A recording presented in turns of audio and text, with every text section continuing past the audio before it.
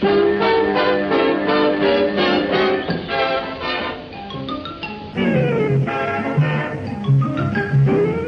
is Jimmy Clitheroe as the Clitheroe Kid with Peter Sinclair, Patricia Burke, Danny Ross, and Diana Day in Take a running walk.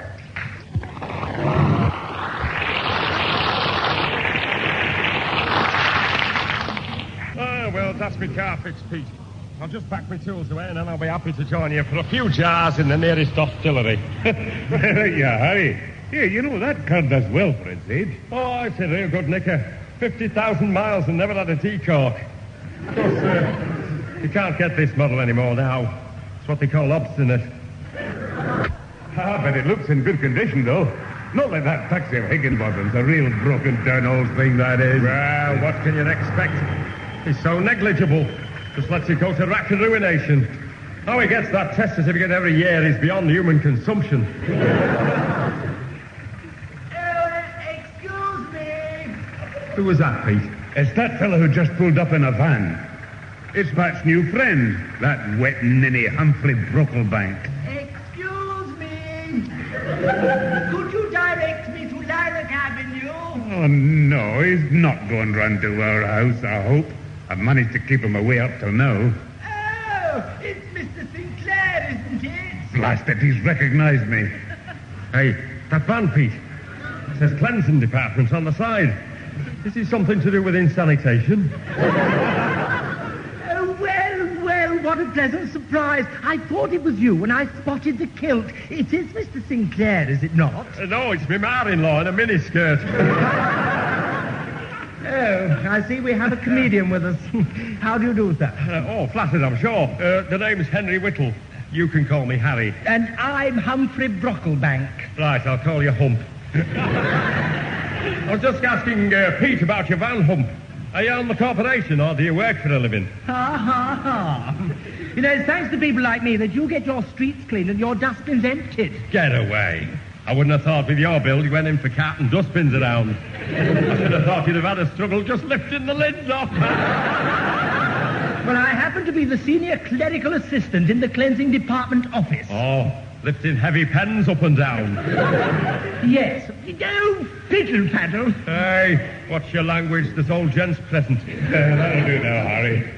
Uh, are you wearing to our place, Humphrey? Oh, yes, I've never called there before, as you know. You and I met at Mrs. Billington's, but Mrs. Clitheroe kindly invited me round to your house today to talk about the Good Neighbour League. Uh, Humphrey's the secretary, Harry. Oh, is he? Uh, uh, what's the idea of this Good Neighbour League, Hump?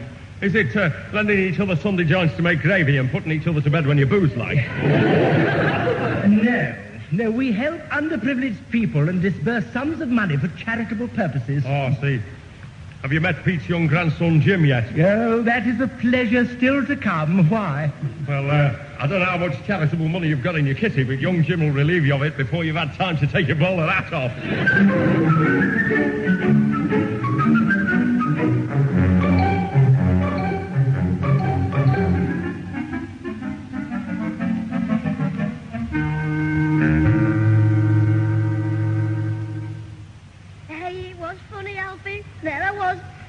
For me missing roller skate, and the dustman found it for me when he trod on it. Shut up. I'm leaving this note for your Susan. Now then, dearest, is it next Saturday you're going? I had to laugh. He upset the dustbin over his own head. I am sure you said it would be your friend Irene's wedding next Saturday and Sunday. Not not Saturday and Sunday, the wedding. That's how long you'll be away in Liverpool. I'll miss you. Hey, he had tea leaves all down the back of his neck.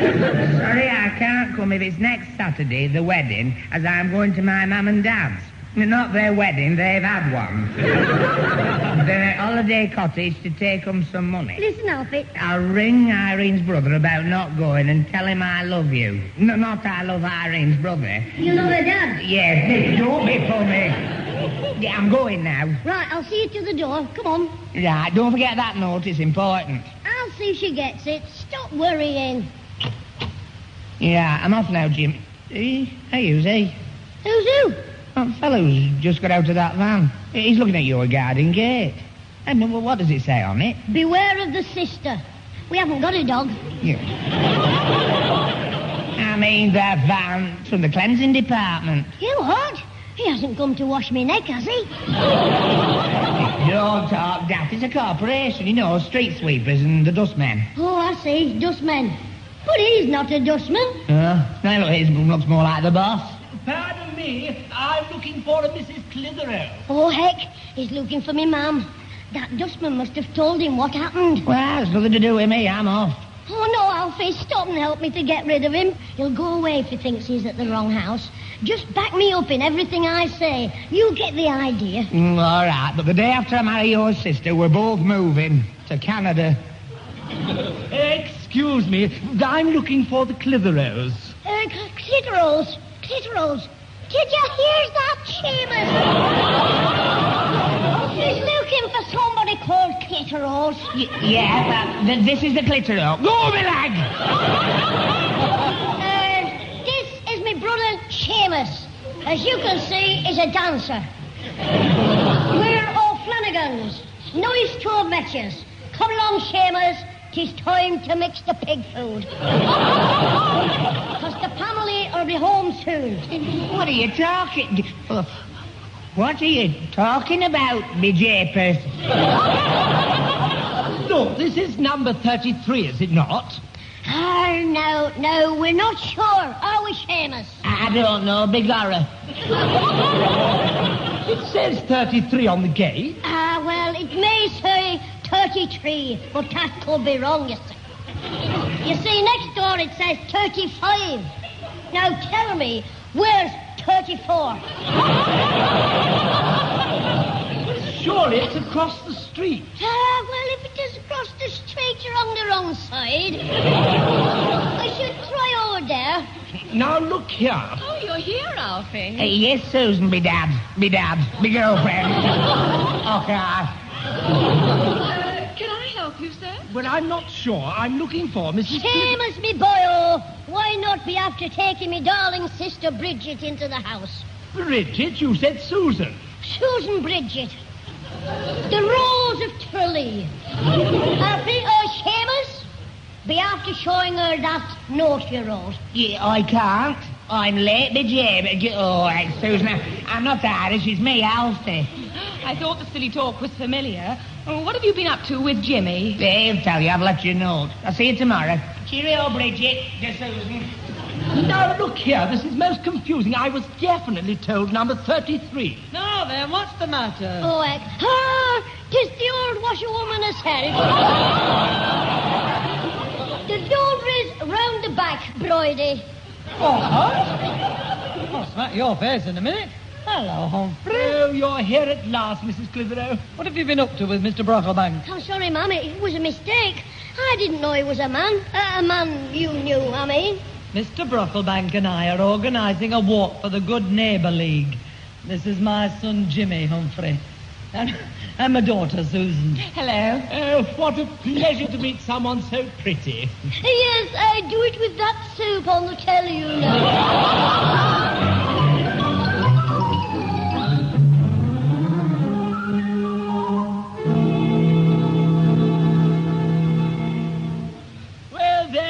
Mrs. Clitheroe, all set for the children's walk on Saturday afternoon. If we are blessed with fine weather, we should swell our funds quite considerably. Yes, these walks certainly seem to be very popular.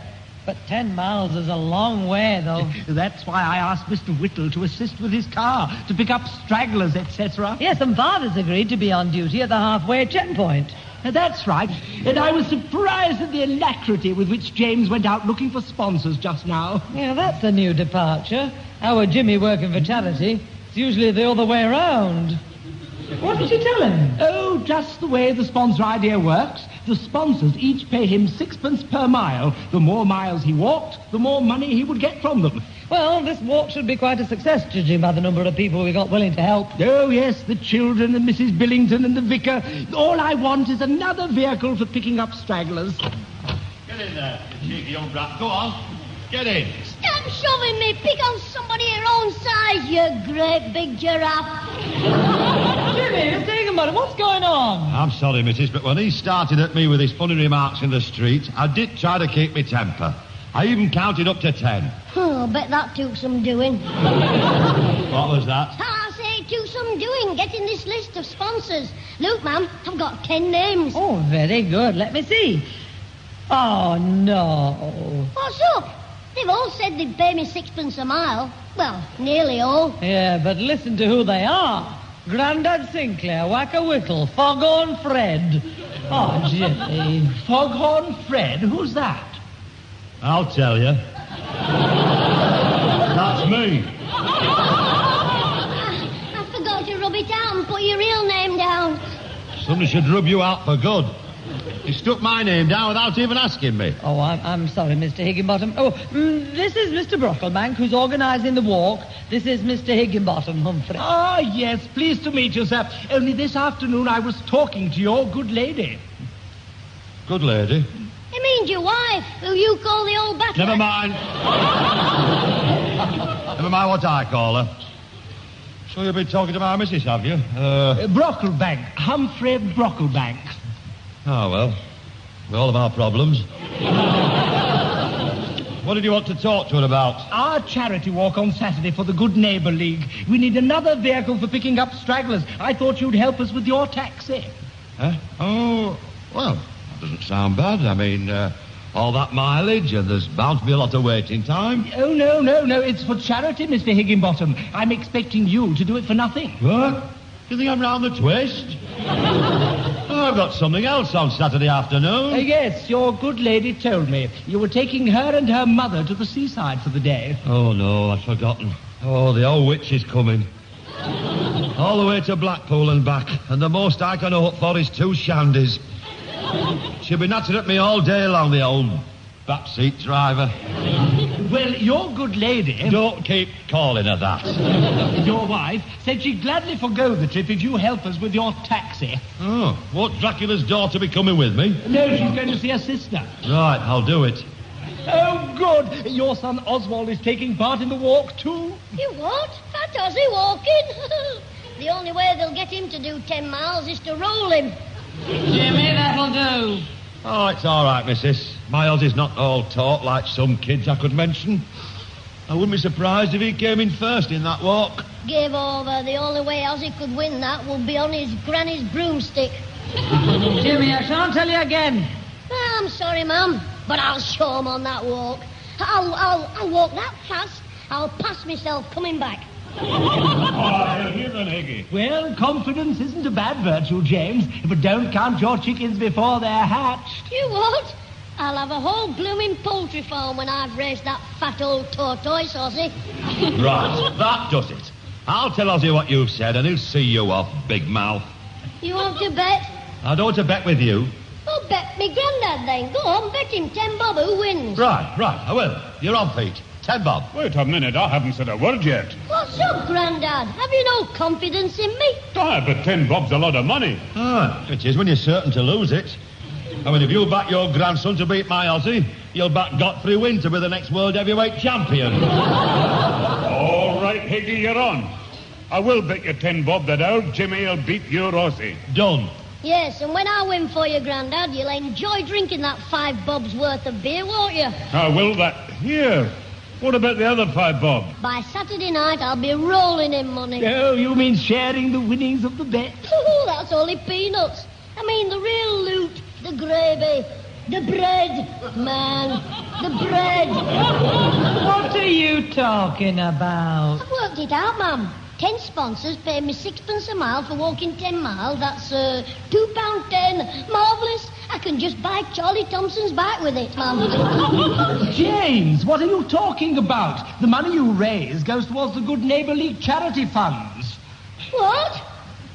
All of it? Yes, James, that money is to help the poor. Well, Charlie Thompson's poor. That's why he's flogging his bike.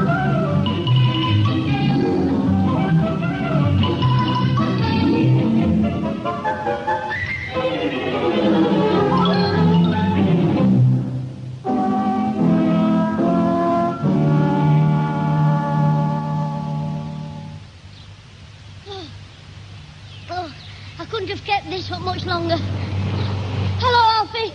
Am I glad to see you? Oh, hello there, Jimmy. This is the right place, then. I wasn't sure whether you said I had to meet you in Green Lane outside the Black Swan, or Blackburn Road outside the Green Bushes, so I tossed up heads of Black Swan, tails of Green Bushes. But we're outside the Red Lion in Whiteside Road. Yeah, my penny fell down the grate. Yeah, well, that seems sensible for you. Anyway, get the motorbike started and let's be off. Where are we going? I'm taking you on a mystery trip, Alfie. You'll enjoy it. Come on, hurry up before the others catch up. Right, yeah. Well, what of this? The other walkers, lads. So, some lads are following me, and I don't want them to see me riding. Uh, to see where we're riding, because then it won't be a mystery. Yeah, okay, I'll start her up.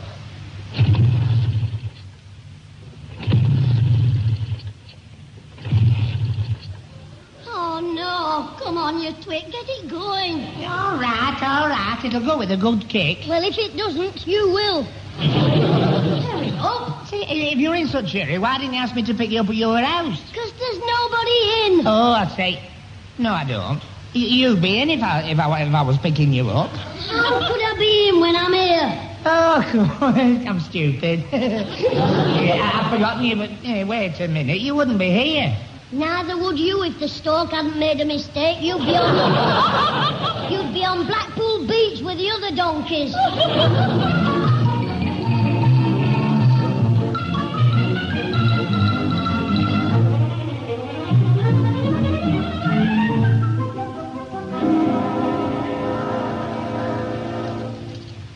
Right, Alfie. We'll sit over there near the window. Oh, what sort of a mystery trip's this? We drive five miles straight up the road and come into a cafe. We're not on a mystery trip yet. I've got to see me granddad and Beaky Billington first to check in. Give him a message, I mean. But your granddad? Is he coming here then? No, I'm going to him as soon as we've had some food. He's only up the road round the corner. Mm, why didn't we drive there first? Because I don't want him to see me on your bike, of course. I mean, he, he doesn't think it's safe. Uh, he's worried I might get hurt. Why, don't worry about Susan getting hurt riding on a pillion. Of course not. She's only a girl. it's funny you haven't noticed that, Alfie. Well, of course, course I've noticed she's a girl. She couldn't be a boy with the shape of the sheet. I mean, with her thick, with, with, I mean, she's got long hair. I mean, boys have. Sir, can I have your order, please? Oh, Beltrop. I beg your pardon? Oh, not you, Mr. Waiter. Um, he's trying to be funny saying his sister's a girl. I Mean she's a bloke. No, of course not. I mean, she's, she's a girl, but... But she looks like a bloke. Yeah, no, please, shut up. He asked me if I knew his sister was a girl, and I did.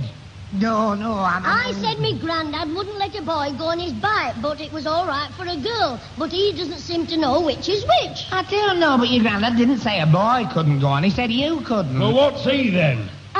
I'm the brother called Susan. No, you're not. You're the sister called Jimmy. I mean, I mean, she is.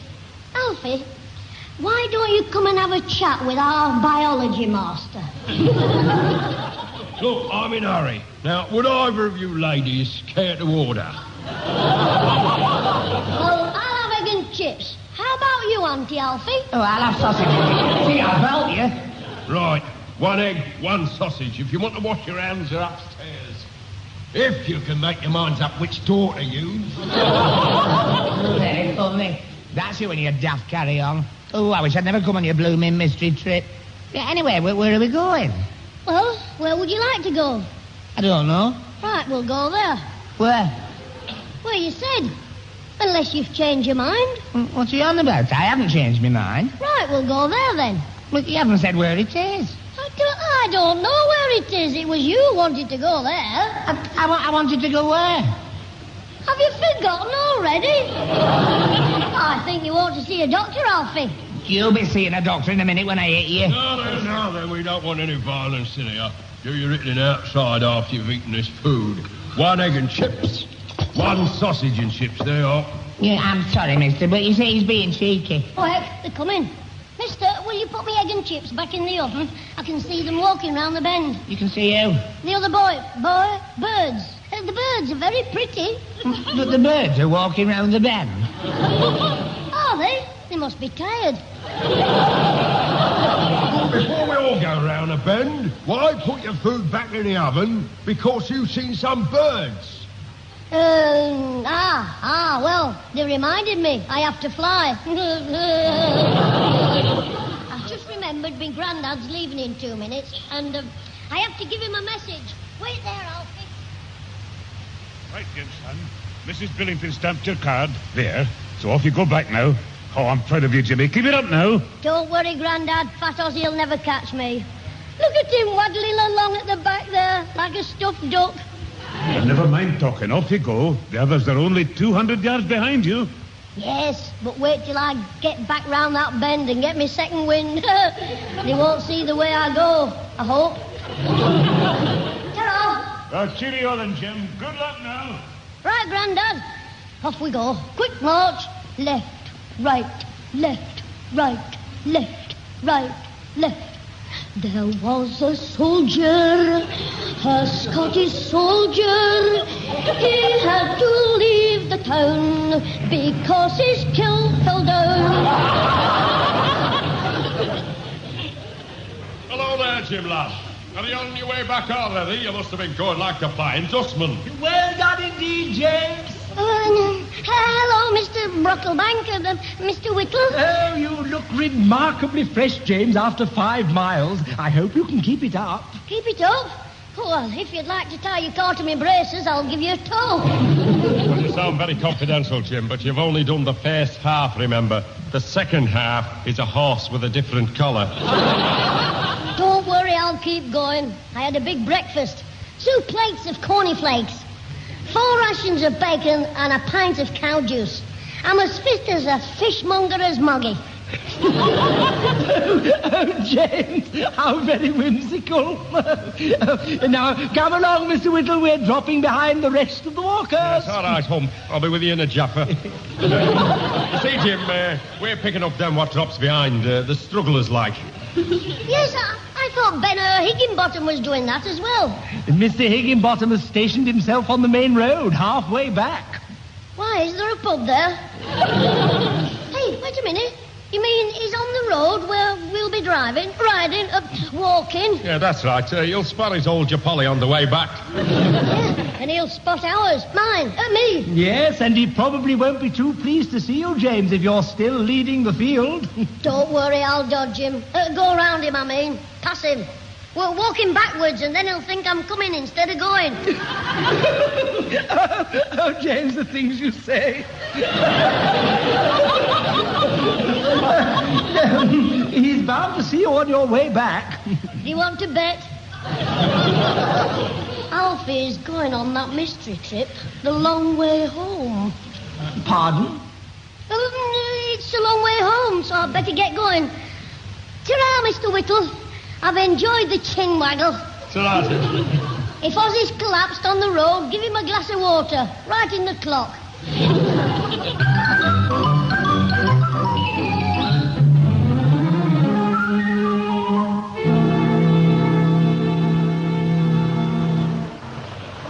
Oh, thank goodness, Jim, we're back on the main road. W- was be all right now?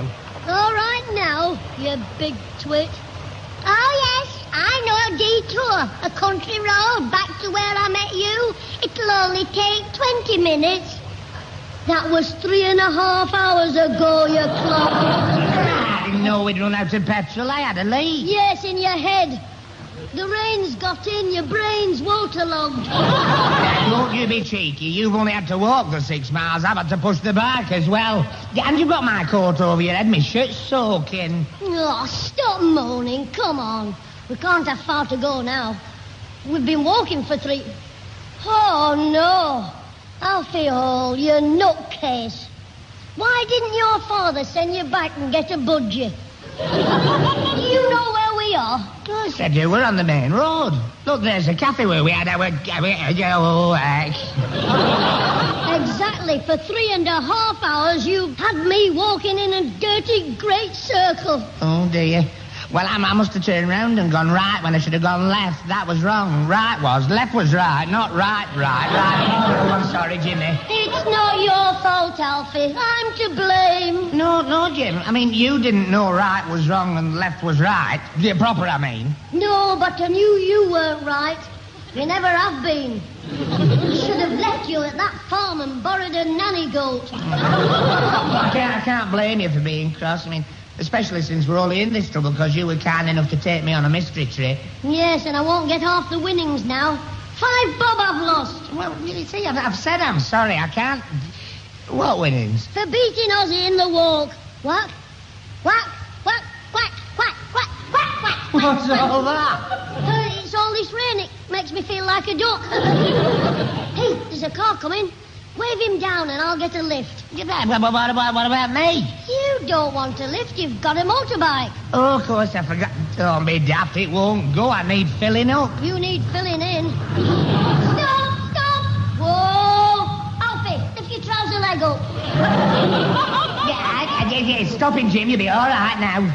Oh, heck. Wave it on again. It's Mr. Higginbottom's taxi. Too late.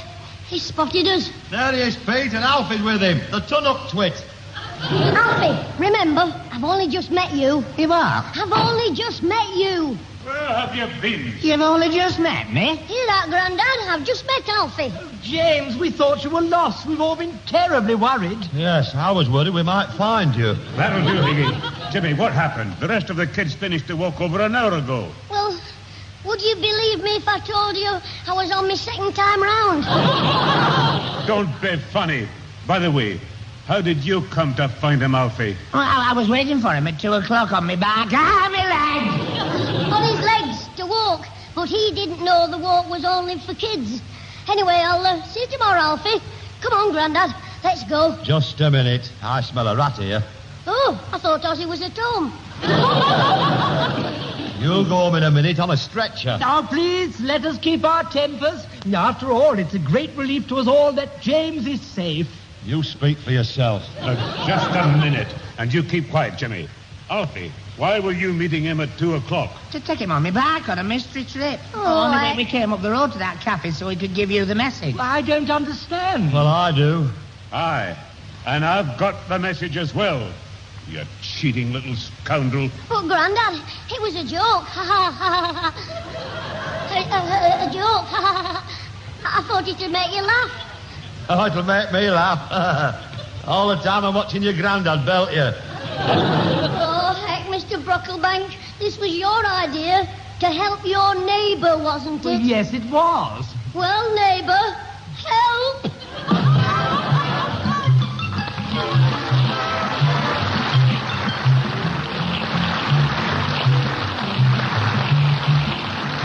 Those involved with the Clitheroe kid this week were Peter Sinclair as grandfather, Patricia Burke as mother, Danny Ross as Alfie Hall, Diana Day as Susan, Tony Melody as Higginbottom, Brian Trueman as Mr. Whittle, and Colin Edwynn as Humphrey Brocklebank. The recorded program was written by James Casey and Frank Roscoe, produced by James Casey, and starred Jimmy Clitheroe as the kid himself.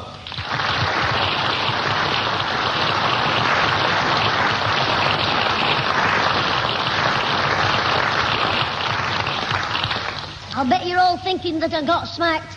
Well, when I got home, my granddad grabbed me and bent me over his knee. But Mr. Brocklebank said, Please, Mr. Sinclair, I must protest. I cannot bear to see a child receive corporal punishment. So my granddad sent him in the other room while he belted